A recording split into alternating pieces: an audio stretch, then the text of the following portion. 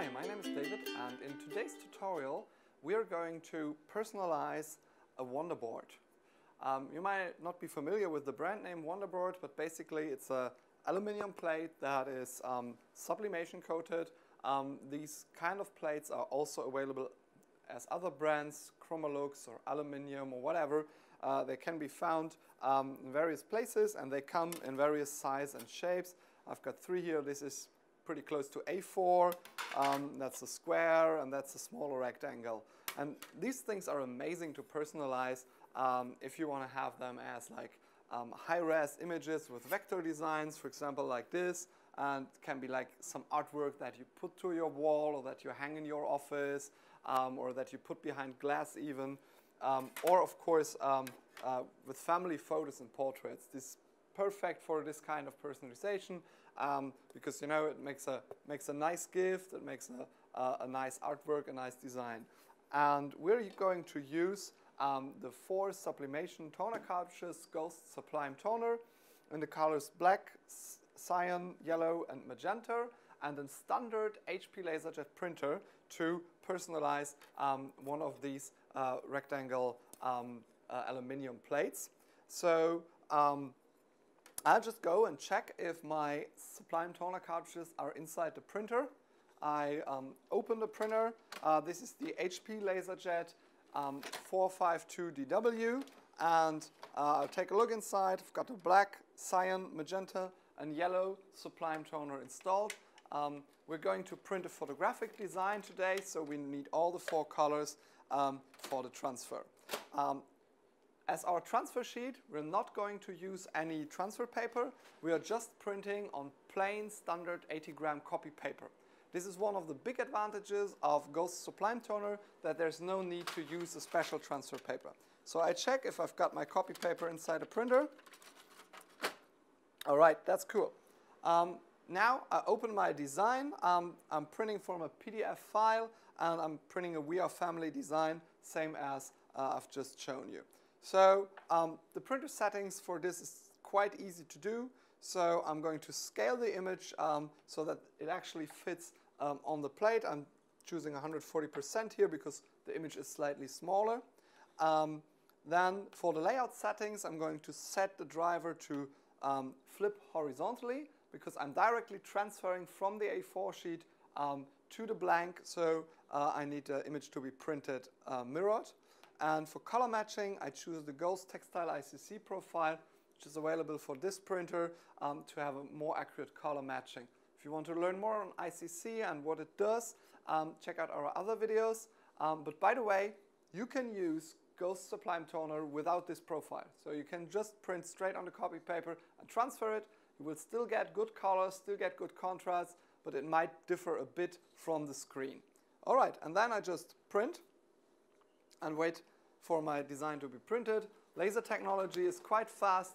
Um, there's no time for the image to dry or the paper transport is quite fast, so within seconds I get my design printed. I compare it to the screen. We can see that the colors are slightly off, but that doesn't matter as we will transfer it, the colors will come out nicely. I quickly cut around the design so that it's easier for me to place it on the aluminium plate. All right, cool. Now we're going to the heat press. Before I place the design and the aluminium plate on the heat press, I'll have to peel the protective layer of the aluminium plate. I'm going to start at one edge and then just peel it off. I'm going to hold that close up to the camera so that you can see what happens.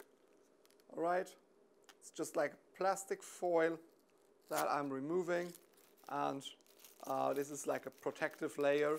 Um, so now um, we have the plain polyester coating um, on the um, aluminium plate. You can see it's quite shiny and this is actually where we're going to um, print on.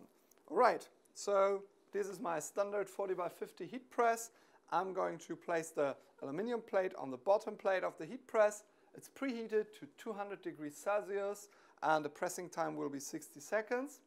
Now I'm going to take my design and align it on the plate and right, that should be good. And then I'm going to close the heat press at a medium pressure and I'm pressing for 60 seconds and I'll be back once the time is up. once the time is up, I'm going to put on a protective glove quickly. I'm opening the heat press and I start peeling from left to right. I hold it down with the protective glove and as you can see it has nicely transferred um, on the aluminium board. I'm just going to throw this away and be careful, the aluminium board is quite hot now as we're pressing on 200 degrees, so only grab it using a protective glove. I'll, if I would use the other hand, really burn my fingers.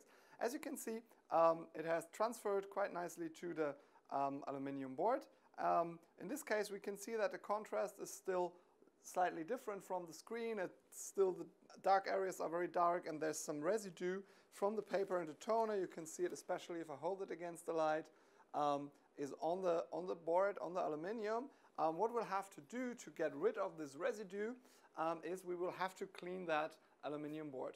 Um, but before we can do that, we'll have to wait for the aluminium to completely cool down because we will use some standard nail cleaner and you don't want to put this onto hot surfaces. So we'll wait till this is cool and then we'll be back for the cleaning process.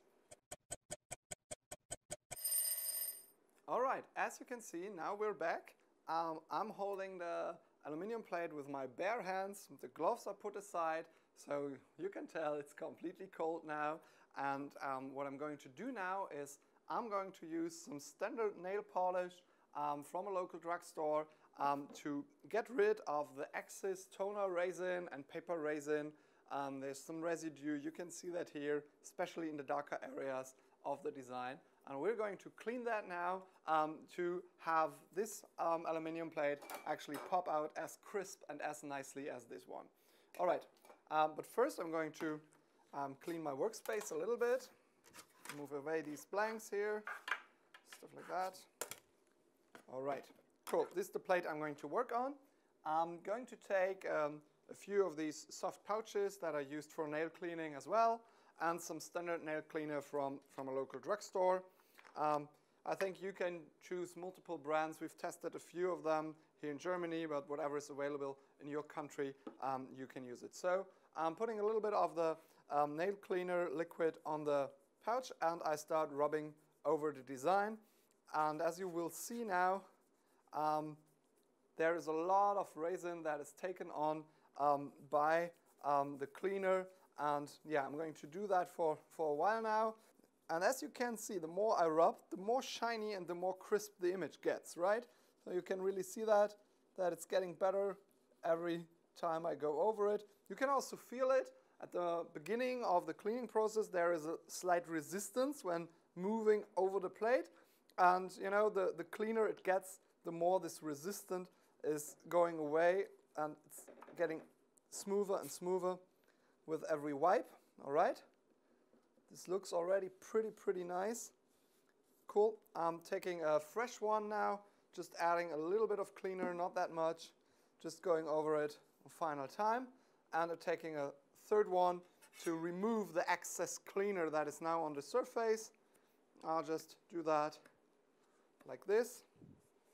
Now what I can do is I will just, you know, um, hold it against the light a little bit, change the direction a little bit to see if I've missed any tight spots, any spots where there is some excess glue, but that looks pretty fine.